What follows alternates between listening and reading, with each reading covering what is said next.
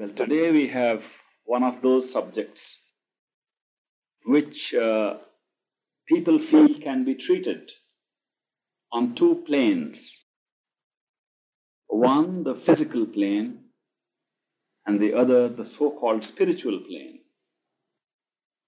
A lot of people with a scientific background consider any treatment of this subject at spiritual planes as all baloney and nothing worth consideration. They say, Oh, I hope you're not going to talk all that meditation stuff and going and going out of time space. That we have heard before.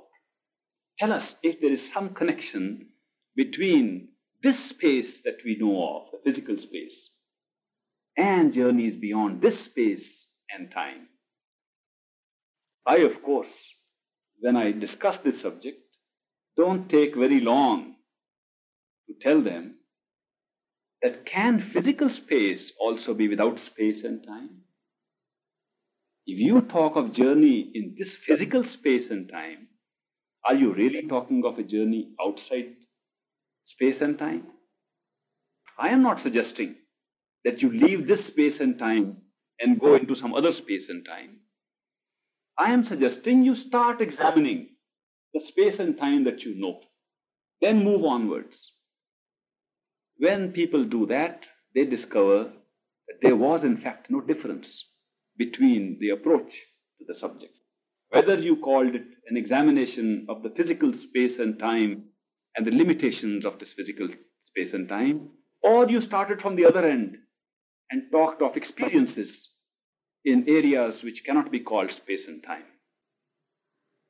I would therefore conform to that tradition and start with the space and time as we know it. The mm-hmm. space and time in which the space vehicles have been going out from this earth. I'll start from the space and time around us now. I have always believed that an impartial, unbiased investigation into truth must start from where you are, making the minimum assumptions. That if you make too many assumptions, you color your inference by those assumptions. I know a lot of people making hypotheses and propositions run into this difficulty. The audience can say, but isn't that an assumption that you are making? Isn't it all a suggestion that you're putting to yourself and to us? I know it's a valid question, it's a valid objection. If you are going to make assumptions and suggestions, well, they may be as good as anybody else's assumptions and suggestions. Where is the investigation of truth? So I suggest to you to please stand with me and stop me from making any suggestions or assumptions and stand with yourself and stop yourself from making any assumptions or suggestions. If I suggest something new to you, don't reject it because it is new. And if you hold on to something that is old, but is an assumption, don't hold on just because it is old. An assumption must be rejected as an assumption, whether it is new or old. Truth must be viewed as truth, whether it comes known to you or unknown to you. With this background, you must approach a difficult subject, like the subject of what would happen if in human awareness we could have experiences beyond time and space. This space has been investigated for a long time. We have roamed all over this space and seen the things that lie upon this space. We have seen things lying on earth. We have gone from place to place on this earth and given dimension to this space. We measured the distances between cities. We have measured the carpet area between one wall and another wall. We have measured the heights of places. We have measured how high the ceiling is. We have measured the three dimensions of this space over and over again. Nobody has been left in doubt about this. It is not an assumption we are making that we have measured the three dimensional space. We have done it. I have sometimes suggested that all things are assumptions except one. That one thing is that we are conscious. That is no assumption because we are conscious. In fact, the only direct, personal, reliable, certain experience a human being has at all times is that he is conscious. All other experiences can be clubbed as assumptions because they may not have been as they are. They may not have been what they looked like. They might have been illusions. Therefore, we need not go beyond the assumption that we are conscious and proceed cautiously to examine what we have been conscious about. We are conscious that we are measuring our length, breadth, and height. We are conscious that every experience that we have had with sensory perceptions can be placed in space with these three ordinates length, breadth, and height. These three ordinates of space were known to us hundreds of years ago. But when we came to recent times, we found that these three ordinates do not explain what's going on in these three ordinates. We found that things do not seem to behave properly if they are placed in these three ordinates. They don't follow the rules of the ordinates. The ordinates rule says every ordinate must be a straight line. Height must be straight high. Length must be straight length. Breadth must be straight breadth. But we find that the objects we place in this space don't follow even this rule. That when we put too many objects in this space, they curve themselves. That was a very horrible thought. That we can't even make a straight line in space. That even if we make a straight line, it gets curved because we put things into space. No, no, no, no. The, the conditioned old assumptions would not accept it. A guy like Albert Einstein had to come and cry hoarse that this is true. You can measure the curvature. You place something physical in the so called straight space, it's curved. We didn't believe it. He tried to sell the idea as early as 1905. People didn't listen to him. In the 20s, he produ- produced more documents to say, there is proof. They said, nothing, we don't want to listen to that. It was only towards the last part of his life in the 50s when he was dying that other scientists came up. In one of the conferences, attended by 50 scientists investigating astronomy and other phenomena in space, Albert Einstein made the dramatic statement that there is no such thing as space, that space is created by the things we place into it. That if all things that are placed in space are withdrawn, there would be no space. That space expands depending upon what we put into it. And if we put matter into space, the space gets curved. And he said, matter is a form of energy. If you put energy into space, the space still gets curved. He said, I do not know, and I am not sure if in my own life I'll be able to establish. But it seems to me, I hope somebody will find out one day, that space as we know around us is so filled with matter that it's got curved to an, a degree, it's curved upon itself. It has become enclosed, therefore has become finite. A statement that 50 people heard, and all of them were silent. They said, We don't understand what you are saying. One man said, I have understood. He got up in the conference. Albert, I have understood you. I know what you mean by this. I know. And he sat down. He got up after a few minutes. He said, Albert, I understood then. I've forgotten now. I am telling you, today, of course, there is a group of more than 100 space scientists investigating the same phenomenon. There has been sufficient evidence to show that the light of a star passing near the sun which is the star nearest to our Earth, in space, deflects towards the sun. This observation has proved that the sun not only pulls other heavenly bodies or material bodies in space, but pulls even energy like light. The theory that has been propounded by Einstein and which has been now widely accepted for further investigation, departs from Newton's law. Newton said space is straight line. The apple from the tree fell upon this earth in a straight line because there was space between them and the earth had gravity which pulled it down. The apple was small, the earth was big, so the apple was pulled down by the earth. He gave the motivation for this movement of the apple from the tree to the earth to the earth. He said the earth pulled it down with its gravity. Einstein declared this was wrong. The earth had no power to pull anybody or pull anything.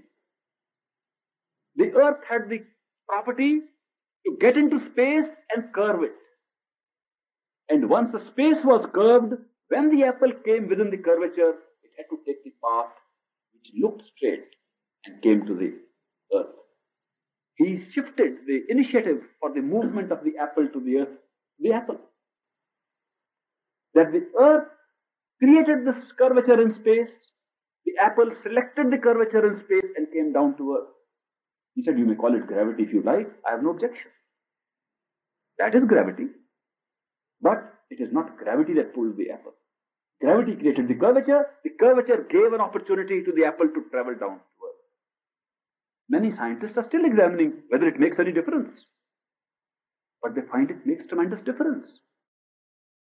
Because then all the bodies that are moving around in space are finding their own way. They are not being guided by other bodies. They are finding their own way, and their way is through space which is curved, and therefore nothing can travel in a straight line. The three dimensions were debunked after this theory. And then some kind of a new space concept had to be evolved to fit this in. So Einstein propounded that let us examine what happens to the apple and the ground while this apple is falling. He says the apple continues to have that dimension, so does the earth have the dimension, but when it moves down, it takes time. Therefore, the total thing to be measured is not the apple or the earth or what they traveled, what requires to be measured, the entire event of the apple there and up to the earth. He said that there is no such thing as a substance placed in a linear three dimensional space. Whatever goes into space goes into a four dimensional space time continuum. And what is placed in a space time continuum is not an object, it is an event. An event gets placed in a space-time continuum and that the ordinate of time is as important and of the same measurable quality as the three other ordinates. That they can all be twisted and turned depending upon what we place into the continuum.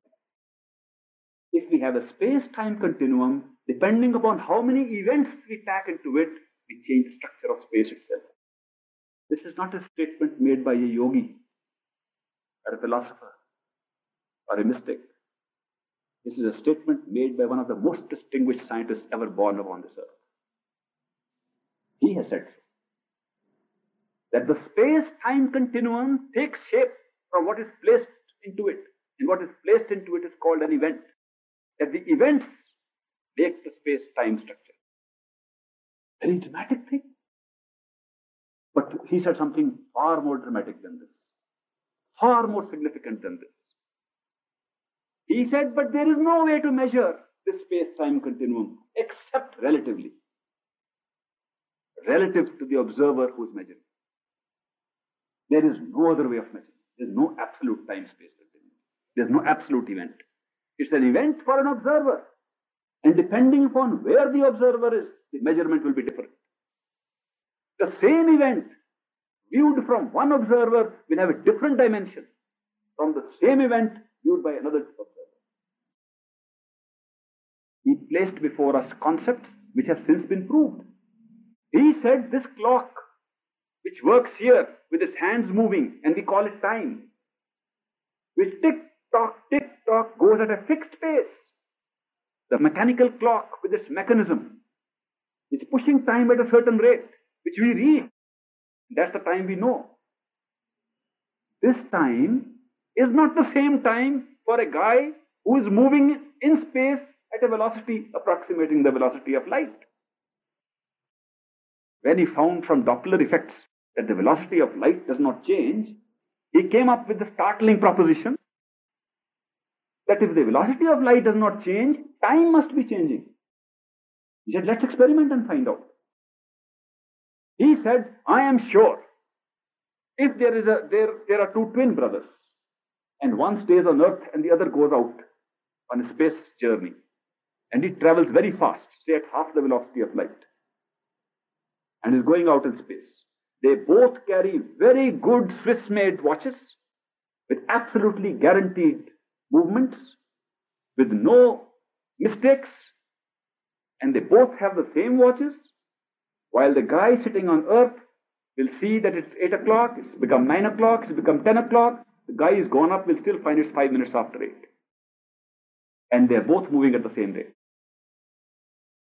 He predicted that a man moving at a high speed, approximating the velocity of light, would come back after a 10 minutes journey and find that his twin brother died 10 years ago. This is a scientific prediction, not a yogic theory. It's under investigation in your country here in the United States by scientists whose programs come on the television, whose names appear in the register of scientists, not philosophers. They are investigating this phenomenon. This is being shown in your planetarium in Boston, your country. The effect of velocity of movement upon time. The proposition is time changes, not the velocity of light. Time itself changes, not, not subjectively, actually. Now experiments have been conducted, unfortunately, after the death of Albert Einstein, with atomic clocks. Atomic clocks where the guarantee is that they cannot go wrong more than one second in one million years.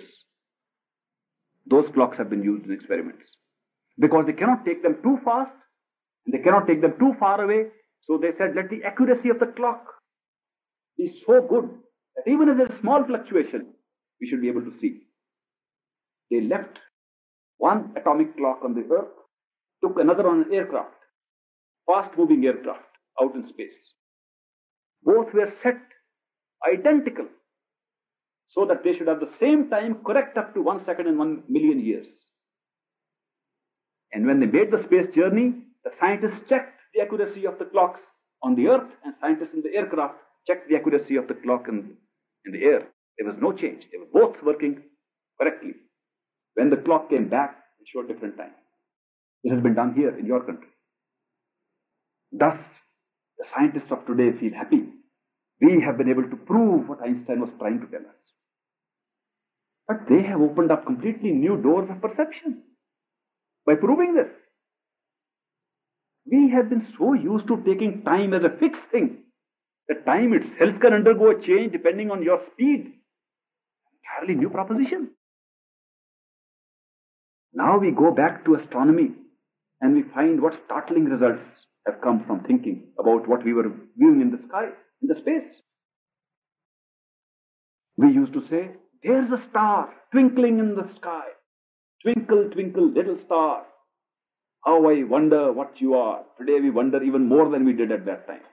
Because the star that twinkles there may not be there now at all. It has taken several years, light years, for the light to come to us. There is no star near, nearer than one light year away. The nearest star besides our sun, which we can see, was there a year ago. We have found very beautiful, good telescopes. Palomar and other places all over the world. We are dotting ourselves with laboratories with better and better telescopes to go further out into space. And with those beautiful equipment and instruments, we peer out into the sky and we say, There we have reached the fringe of space. Because that star is one million light years away. We forget what does one million light years away mean. It means what we are seeing was there one million years ago. If it is there or now or not, we don't know. There is no way of knowing. Because the fastest way of viewing anything as an observer is at the velocity of light. There is no means known of going beyond the velocity of light. Albert Einstein proved that the only absolute thing in this world is the velocity of light, everything else is relative to it. Therefore, when we go into the fringes of space, suddenly dawned upon us, we are not going on the fringes of space, we are going on the fringes of time. That's funny. That if we try and look out in space, we can't see space as it is now. Can only see space as it was. There's no way of seeing space as it is now. There's just no way, absolutely no way of looking at space as it is now. That the deeper we go into space, the more we go into history. It's a funny situation. That means we can never see the sky at one time. Never. As an observer, we have lost the capacity of even seeing space, except as time. And is time the creator of space? Seems to be there's no difference. If we can't even see space except as time, then what is space? Albert Einstein had just started experiments on the nature of the observer when he unfortunately passed away. I propose to go along with a group of scientists sometime and work further on the theory of the observer. But today I'll give you hints on what it will mean to be the observer of space and time. Because Einstein said it's the observer's position that determines the nature of time and space.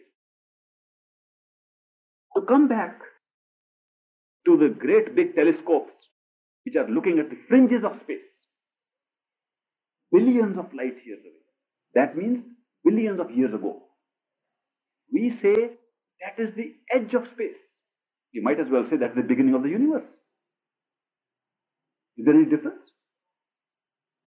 If you say we are seeing something that happened a billion years ago, is it not the same thing as saying we saw what? The beginning of the universe? Are we seeing the edge of the universe or the beginning in time of the universe? There's no difference in the two. Amazing scientific discovery. But a bigger discovery has come, which has baffled us. An Indian scientist was involved in that, and a British scientist. Narlikar of India and Hoyle of England conducted experiments together on quasars seen at the edge of the space, the very edge of space. And they were moving across. The shift, the red shift in the spectrum can be so accurately used now to determine the distance. We have no doubt how far they are. But the way they moved this way in the sky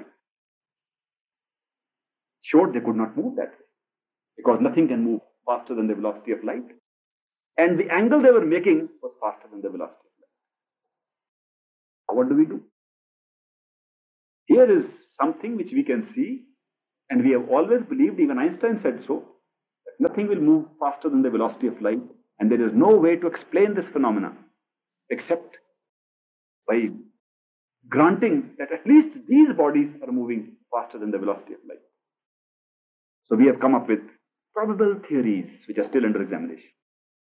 The probable theory is that this is outer space, beyond this space, beyond this time. And these are things moving faster than the velocity of light.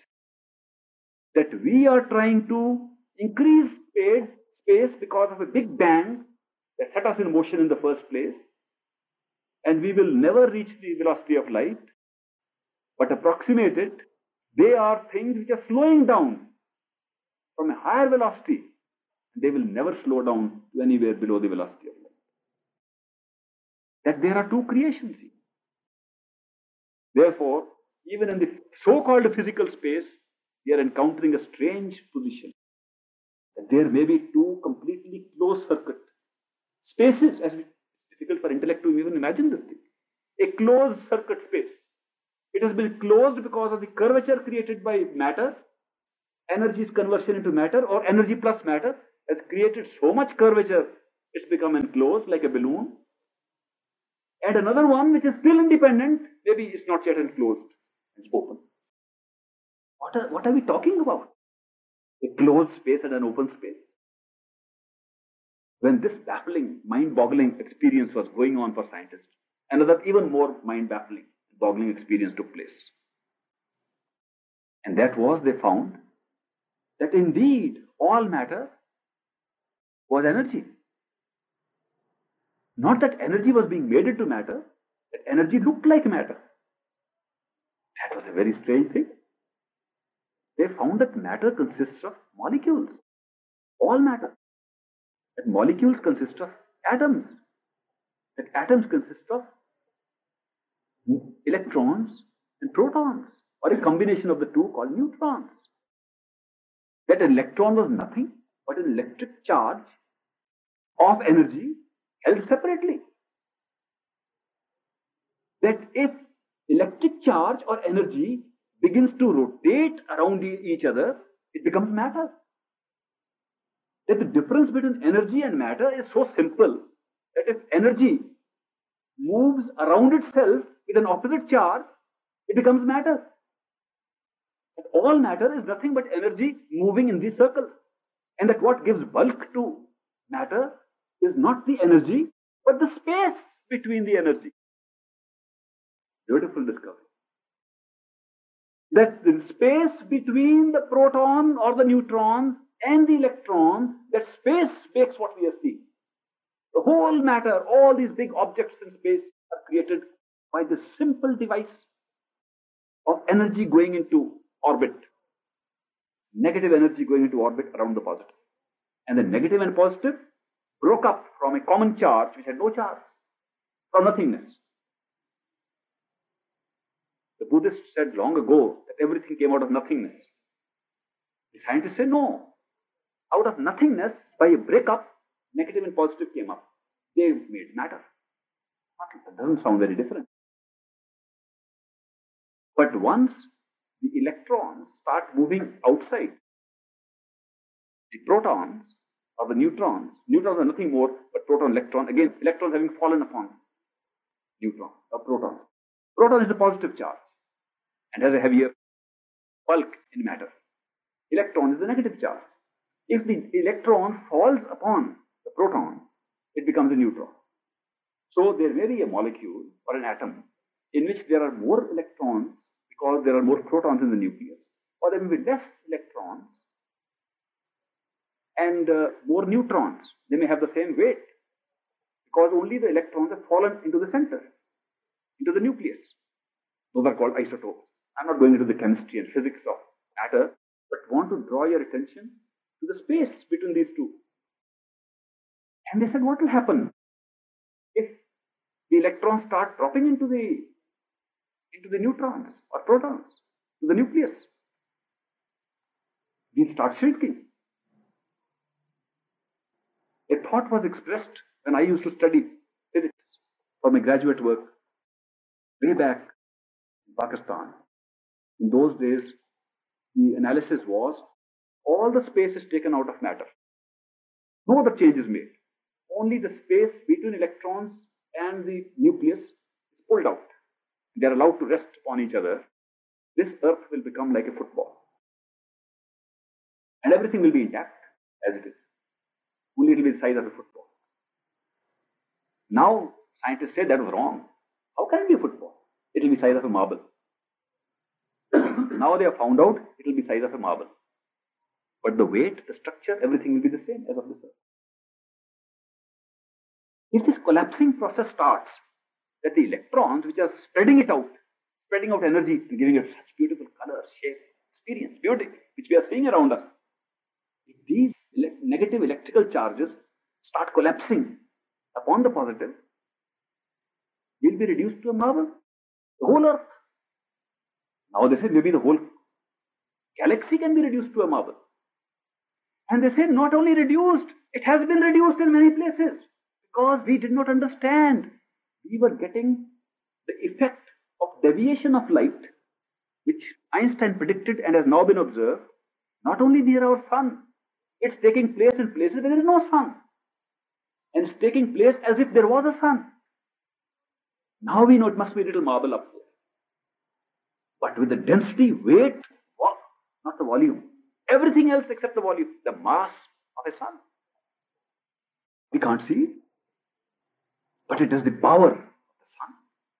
And since it is in a state of collapse, it's so heavy, it creates great curvature in space, therefore has tremendous gravity. Anything passing near that gets deflected. If a plane were to fly near one of these, it gets absorbed and become a dot. Finish. We call them black holes in space.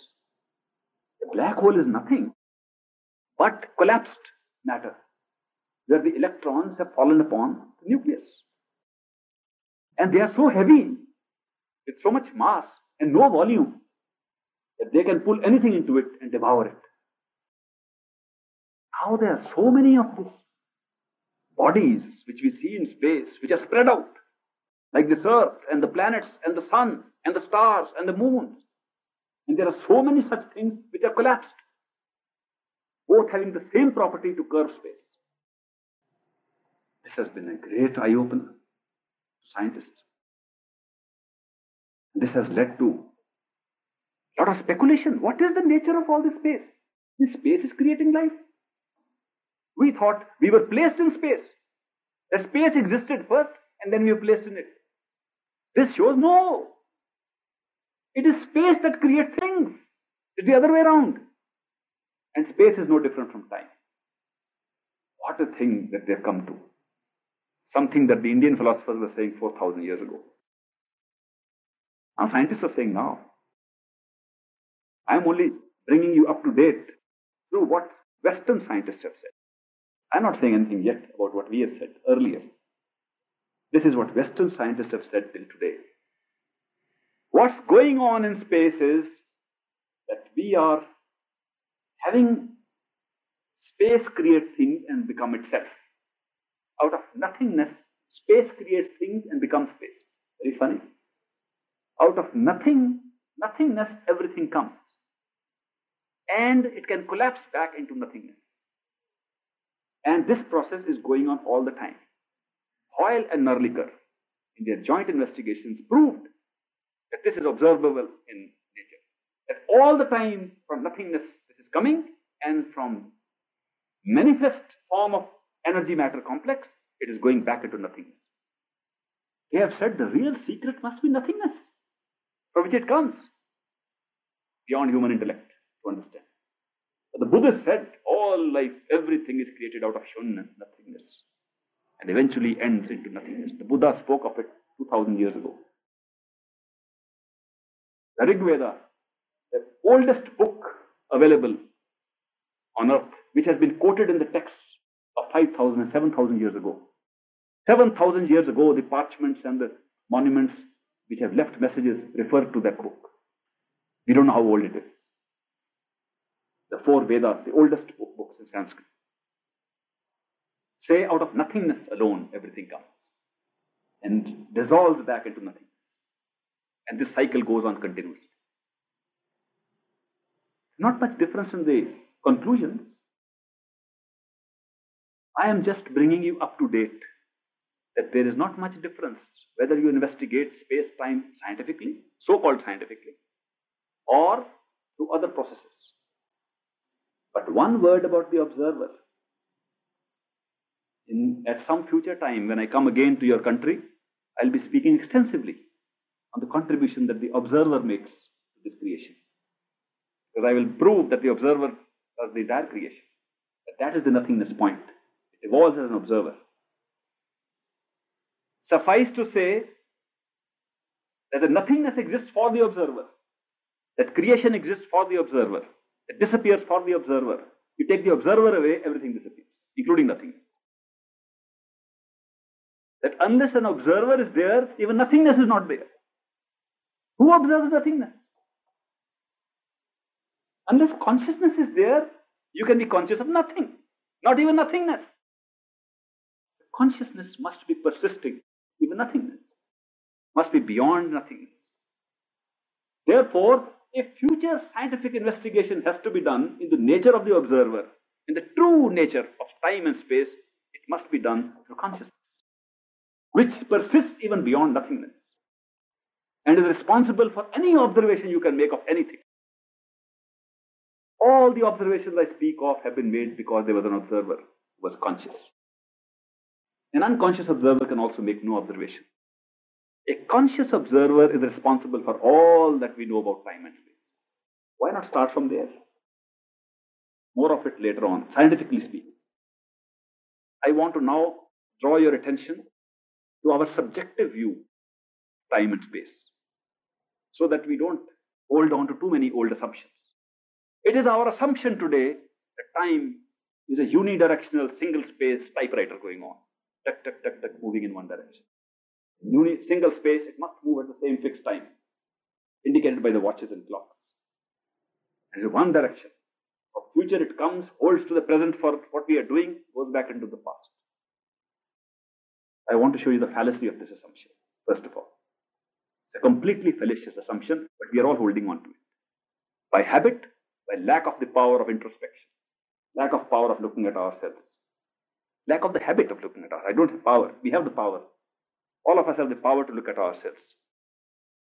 Okay, let's examine what is time as we know it. The time as we human beings know is past, present, and future. Supposing this experience of past, present, and future is removed from human consciousness or human experience, we lose whatever we know about time. In the wakeful state in which we are conversing with each other now, time means nothing but the experience of past, present, and future. Now let's examine these three segments. Present. Does present have time? No. Before you say present, it is future. The moment you say it's past, it doesn't hold.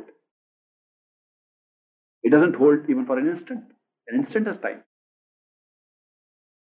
Astrophysics uses nanoseconds as a unit, which is a billionth part of a second. But the present is not even a billionth part of a nanosecond. Can't be. Before that's the future, then it's the past. Where do you hold it? What is the duration of present? There is no duration whatsoever in time for the present. Present is timeless. Let's be clear about that. And all the time we were wrong in making an assumption, we are doing things in time in the present. We can't do it because there's no time. Where are we doing it? In the future or in the past? That is left. Why are we talking so loosely? Well, I'm talking to you in the present. What I mean is, I am talking to you in the immediate past. I've spoken the words, they've just gone to the past, and I call it present, loosely talking. It's not strictly correct. If I'm technically correct, then I cannot talk to you in the present because there is no time to talk. Even a single word takes time. A single syllable takes time. Single motion takes time. Single sound coming out of me takes time. I cannot do it in the present. Nor can I do it in the future. It hasn't come yet. I can only do it in the past. It is already in the past. But so recent past looks like the present. Illusion. Assumption. It's an assumption we make that we are doing things in the present. Indeed, we are doing in the past. Okay, then let's take it that there are only two things. Future, slipping timelessly, slipping without any time hold into the past. Then we might as well examine the future. What is the future? Supposing human awareness lost the capacity to hope, to fear, and to anticipate, there would be no future. Future, the word future would be written off from our dictionaries. It's the capacity of human awareness to anticipate, to hope, to fear that creates future. If we did not do these things, there's no future. No future as we know. No future that comes to our awareness. But that is not the interesting part. The interesting part is that all hoping, fearing, and anticipating is done again in the past. It takes time. You cannot hope except in time. That's in the past. You cannot anticipate except in the past. You cannot fear except in the past. It takes time. Even to fear a thing takes time. Even to hope for a thing takes time. Even to anticipate something is happening takes time. It cannot be in the present. Then all this so called future is also past. The only thing that exists is past. There's no such thing in time, which we can call present or future. It doesn't exist in time. The only thing that exists in time is past. Now we come to that beautiful conclusion logically following from this. That if there is no present and future, there's only past, how do we experience it? Then nothing can be experienced in the past except through memory. Human awareness is experiencing the past only through memory, whether it is one second ago or one year ago. Whether it happened just a millionth part of a second ago or has happened 10 years ago. There's no way of getting it into awareness except through memory. Recall. Doesn't it look funny that our entire experience, which we were confusing by assumptions as present and future, turned out to be a memory of something that has already happened? Because memory cannot be of something that is happening. Memory means it has already happened, you're recalling it. Where and when did it happen? If everything is past, we are just recalling it in memory. Where are we recalling from? Where did it happen actually? It must have happened somewhere.